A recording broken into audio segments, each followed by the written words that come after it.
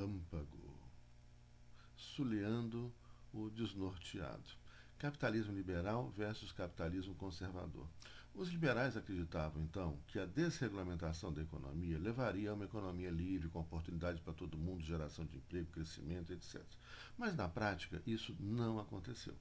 Né, no século XIX, então, é um processo gigante de concentração econômica. E essas pessoas que estão vencendo a competição com muita riqueza, já com muitas empresas, etc., com muito capital acumulado, começam a criar mecanismos de conservação do seu espaço no mercado. E essa conservação vai justamente é, na direção oposta e começa a matar é, é, durante o decorrer do século XIX até o século XX, começa a matar o liberalismo, a ideia de livre iniciativa e livre concorrência. Ou seja, o capitalismo conservador é inimigo do capitalismo liberal.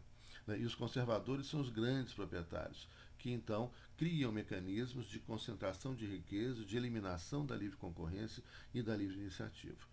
Né? O fato de hoje você ter pessoas né, que se dizem conservadoras e liberais ao mesmo tempo é uma grande confusão e que surge justamente desse desnorteamento absoluto né, e de desconhecimento e enganação, etc., muita mentira, muita fake news, que as pessoas são submetidas.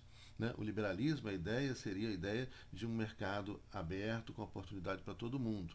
E o capital conservador é justamente esse capital que concentra a riqueza, que vai eliminando o liberalismo e que foram os vitoriosos no final do século XX e que hoje mandam em boa parcela do mundo, não no mundo inteiro, inteiro mas em boa parcela do mundo, inclusive nos Estados Unidos. Portanto, juntar liberalismo com conservadorismo é um grande equívoco e uma grande estratégia. Esses caras juntam algo que não tem nada a ver. Por exemplo, uma coisa é o conservadorismo econômico. Quem que é o conservador econômico? Aquele que tem algo para conservar. Aquele que tem grana, que tem muitas empresas. Não dá para você ser né, um pobre, né, é, desempregado ou com emprego com remuneração péssima ou média né, e ser um conservador econômico. Isso é absolutamente ridículo. Mas, propositalmente, para enganar a gente, o que, que eles fazem?